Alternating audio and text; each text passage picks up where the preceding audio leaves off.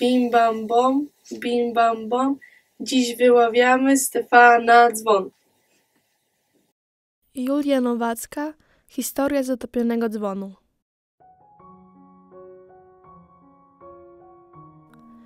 Odetchnęli chłopi, wyprostowali ramiona, gdy ostatni kloc drewna został sprawnie rzucony na błotnisty odcinek wiejskiej drogi przylegającej do jeziora. Błotne topielisko było prawdziwą udręką. Koła wozów zapadały się po osie, a konie ledwo brnęły. Żwir sypany na tę drogę natychmiast znikał. Topiel połykała nawet kamienie. Pozostały jedynie drewniane kloce. I w tym momencie, gdy ocierano zroszone potem czoła, któryś z pracujących dostrzegł wielką, czarną chmurę sunącą wprost na kuty. Idzie granie! krzyknął, bo graniem nazywano burz z błyskawicami i grzmotami.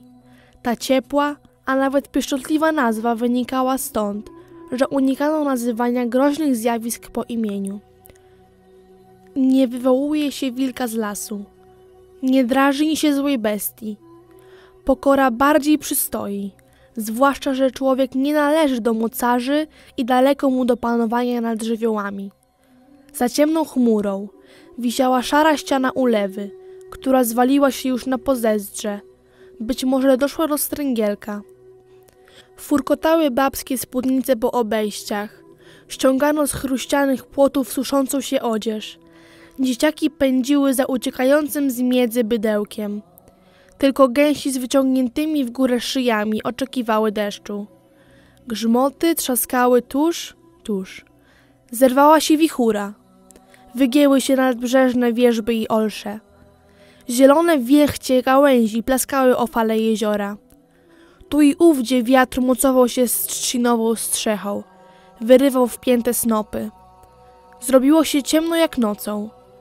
W pośpiechu wyciągano ofiarne świece. Zapalono i stawiano na oknie. Spraw Boże, aby Twój ogień ominął naszą chatę. Mamrotały niejedne usta. Toć mamy ogień, Tobie, Panie, ofiarowany. I dodatkową świecę wtykano w miskę z barwnikiem, który stroił wiejskie okna. A babcie, które mało kiedy opuszczają swoje miejsce przy ceglanym piecu, jeszcze bardziej przylgnęły do jego szorstkiej ściany i bezzębnymi ustami szeptały: Ach, ukryj mnie, Jezu, Panie, w jaskini boku Twego. Tak mnie to strasznie łyskanie, co trwoży niejednego. Ni piorunowe trzaskania nie przywiodą do lękania. Niech te haniebne gromy i te siarczyste strzały nie uderzą w nasze domy, by się szkody nie stały. Przyjaciół mych i każdego, broń nieszczęścia wszelakiego. Nawałnica nad kutami szalała. Białe grzywy jeziora unosiły konary połamanych drzew. W chacie na skraju wsi mała Elicka sepleniąc cedziła słowa. Nóż, niech zewsząd biją na mnie wichry, pioruny, grzmoty. Mnie zaś bezpiecznie okryją Jezusowe namioty. Ja się pod skrzydłami Jego, nie lękam gromu żadnego. I rozwarła drzwi, żeby wpuścić skomlącego na progu szczeniaka. Oddaleni od okien ludzie, bo pioruny lubią przez okna wpadać, odbierali nawałnicę z mrożącym krew w żyłach strachem. W szum wichury wtargnął potężny łoskot, jakby pół nieba runęło na wieś. Poderwało ludzi.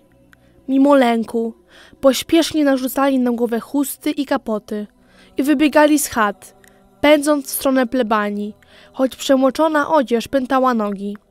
Jest to jedyne miejsce, gdzie zawsze i w najgroźniejszych chwilach znajdowano ochronę, pociechę, bezpieczeństwo.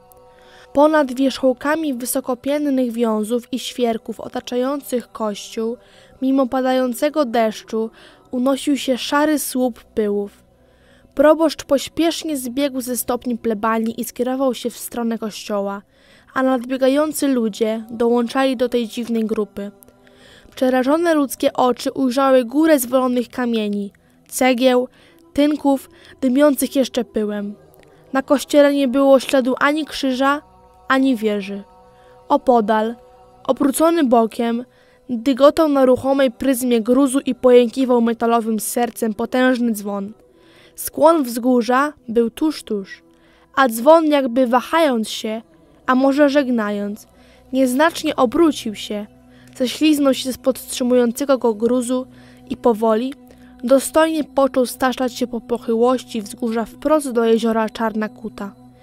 Odrętwiali ludzie nie byli w stanie ruszyć się z miejsca. Do ich uszu dobiegł odgłos uderzeń dzwonu. Stefan, Stefan, Stefan i na koniec długie ste. Dzwon przykryły fale jeziora. Deszcz ustał, niebieskie granie oddalało się.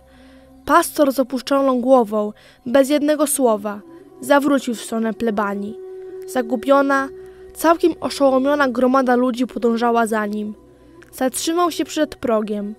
Otarł dłonią twarz zmoczoną deszczem, a może łzami. Czy do uszu waszych dotarło imię przekazane przez serc dzwonu? spytał przyciszonym głosem. Czy zapamiętaliście to imię? Stefan był wielkim królem. Stefan Batory był moim królem w odległym kraju. Umarł dawno i grób jego daleko. Zatrzymał się dla zaczerpnięcia oddechu. Dziś pożegnał nas po raz wtóry i ostateczny. Właśnie tu, w maleńkiej mazurskiej wsi. Rozejrzał się po zasłuchanych twarzach. Zrozumiał, że musi powiedzieć coś więcej, znaleźć słowa, które ludzie przyjmą jak testament. O królu Stefanie piszą wiersze, układają mądre księgi, a dla was, waszych dzieci, następnych pokoleń, pozostanie jego wielkość w zastygłym echu bijącego dzwonu, tego, który sunął się przy nas do wody. Zmęczył się pastor, a może tylko ściśnięte bólem gardło nie pozwoliło mu mówić. Będziemy szukać w wodzie. Trzeba ściągnąć rybaków sieciami. Mamy chłopców, co nurkują jak ryby. Znajdziemy, uratujemy.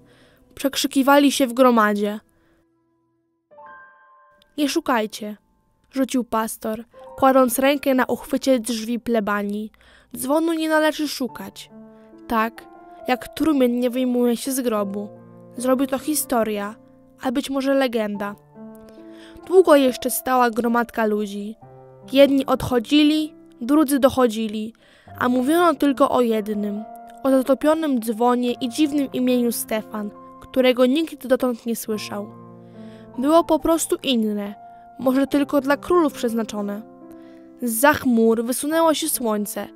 Na gościńcu pojawił się piękny powóz, zaprzężony w białe konie. To pani Dorota Olszewska z Krzywinki, szeptano. Konie zatrzymały się przed kościołem. Strojna pani wysiadła. Spojrzała na stertę gruzu i szybko zawróciła. Ludzie usunęli się na pobocze, a pani pokonując strome schodki, pukała już do drzwi plebanii. Ojcze, zaczęła od progu, jutro przysyłam ludzi do roboty, bo wieżę trzeba w mig postawić. Wyślę też umyślnych do królewca, aby omówić sprawę nowego dzwonu. Będzie to dzwon Doroty. Coś tam jeszcze mówiła energiczna pani, a pastor, spoglądając w dal, milcząco potakiwał głową. Czy słowa Doroty Olszewskiej docierały do niego? Wzrok pastora mówił, że myśli były ciągle jeszcze przy staczającym się dzwonie i pożegnalnym Stefan.